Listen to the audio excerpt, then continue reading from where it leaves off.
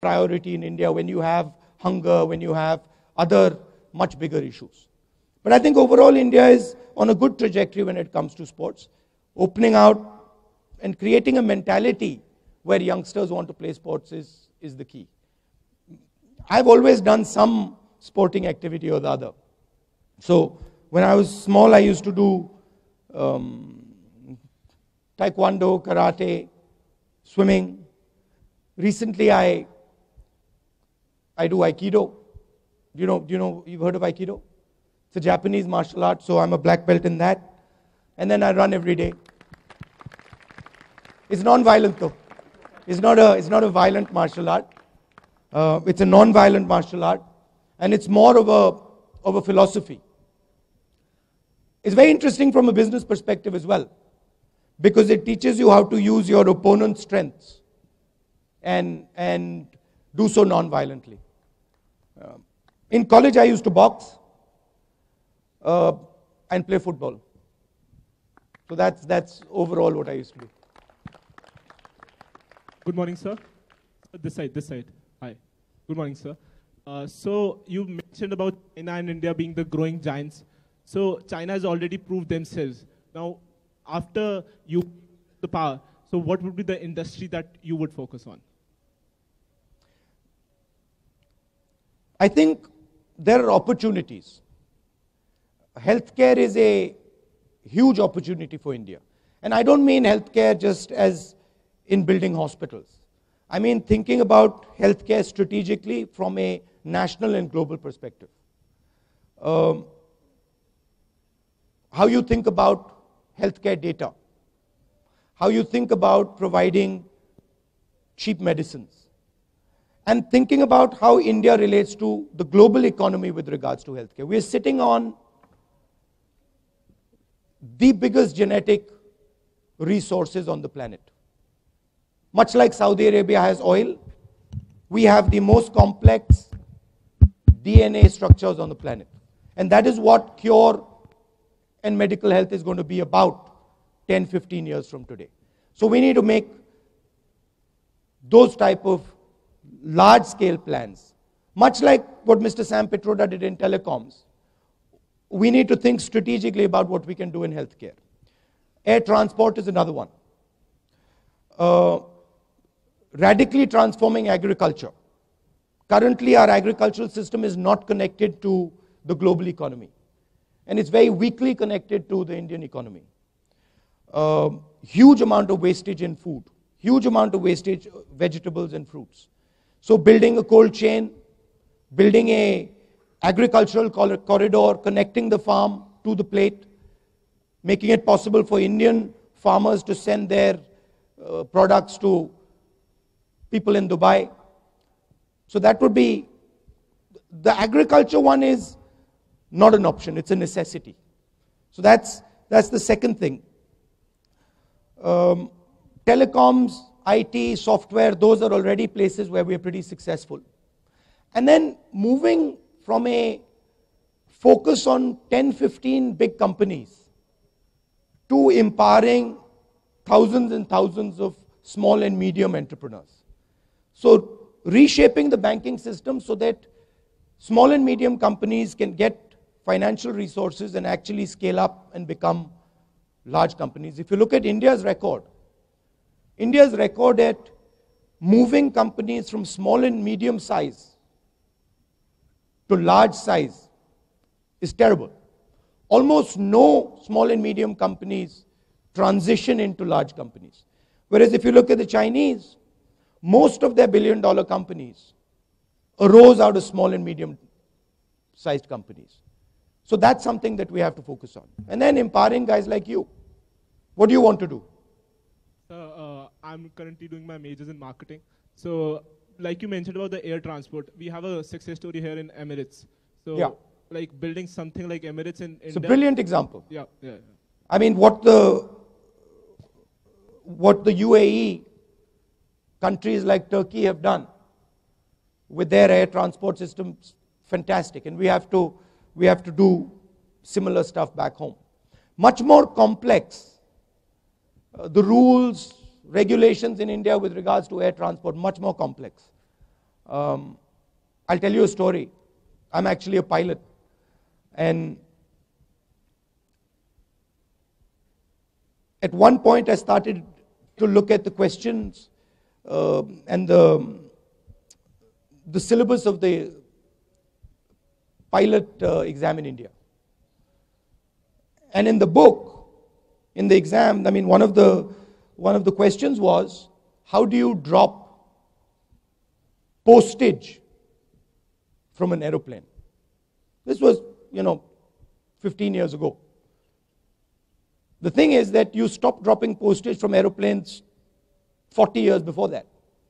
But it's still an exam on the Indian, it's still a question on the Indian exam. It's ridiculous, right? So, so some of those things are, are, are sort of quite hard to change. They're bureaucracies, they're, they're sort of not fast moving. So that, that's where one has to focus. Big, big issue with air transport in India is number of airports um, and the connectivity between different cities uh, as far as airports are concerned. Can I intervene? We have very little time. Maybe we have time for one brief question and one brief answer. Hello. Hi, good Hello. morning, sir. Morning. Yes. My name is Amala, and I'm, com- I'm elected Vice President of Sunrise English Private School, Abu Dhabi. Uh, I'm thankful for this opportunity. Um, the Indian National Congress has been uh, successful over 188 years, starting from the period of uh, Dr. Annie Besant to uh, transgenders being included in the central politics. Uh, my question is that women in the rural areas, uh, the heart of India, has not been given much opportunities or attention compared to the women that we have on the central politics. So, what will be your uh, programs to actually, uh, you know, make the rural women uh, the attention of central politics? And I would also like to know, uh, most of the kids in India have underwent chi- child abuse and child uh, mortality. And how would you change in case if you become the Prime Minister of India? Okay, by the way, there's the, the, the first statement you made is actually wrong. Because if you look at our political system, and if you look at our political system,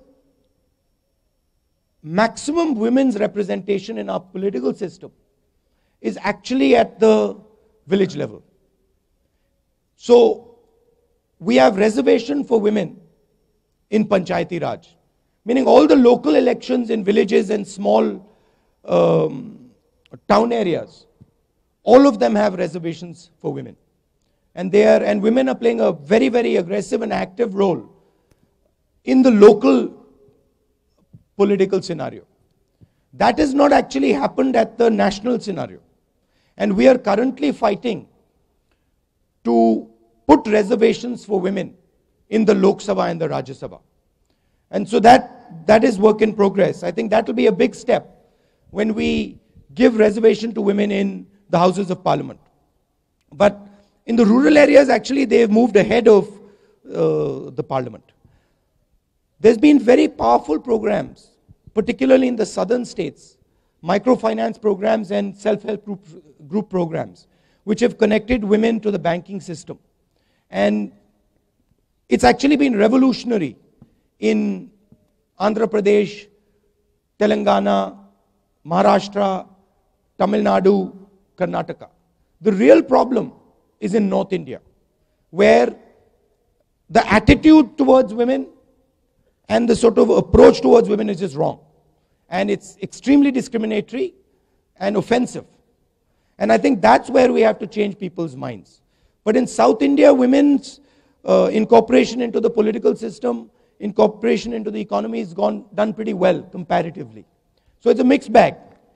I think, I think Uttar Pradesh, Bihar, Rajasthan, Madhya Pradesh, Chhattisgarh, Jharkhand, this belt is where we really have to push women's empowerment uh, and women's role in, in politics.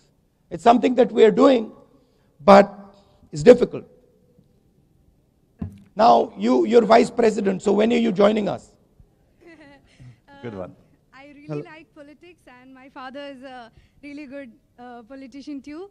Um, as far as uh, you know, coming into the limelight, I've been thought of IFS uh, in case if I pass the civil service with nice marks. But politics is something which I have to, you know, really look on to, and uh, you know, I yeah, I need a lot of support and courage to. If you if you're interested, come and talk to some of us, and we'll we'll at least explain to you what it looks like and and, and the Thank type you of so much, experiences sir. that you will And, and face. you Thank might you change so your mind. You might change your mind.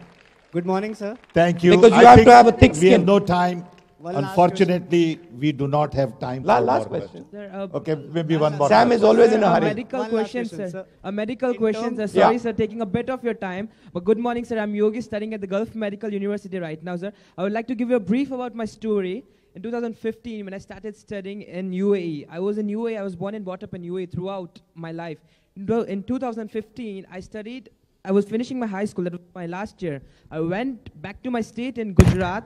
I went to the medical colleges over there and I asked them, will NRI students be able to enter your medical schools? They told, yes, definitely, sir. You don't have to give any exams and you can come directly to us. We'll give you, uh, if you uh, match our criteria. I went in 2016. One month before, government implemented NEET, which was very unethical and it was very unfair for the NRI students.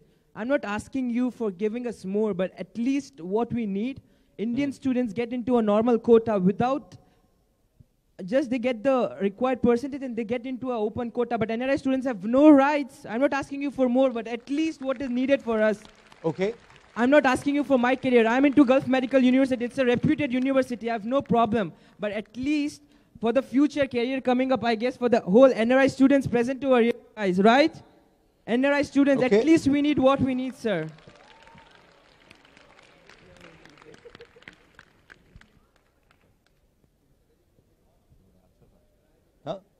No, I agree. I, I agree with you in principle that it should be fair.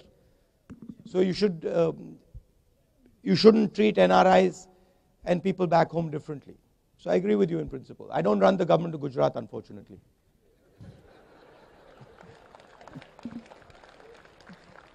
Okay, can we,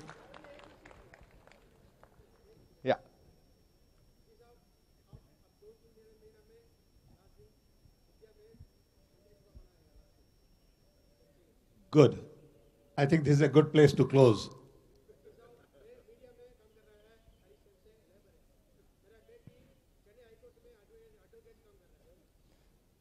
भैया अगर आप media से हैं तो यहाँ पे students का interaction हो रहा है आपसे मैं बाद में बात कर लेता हूँ.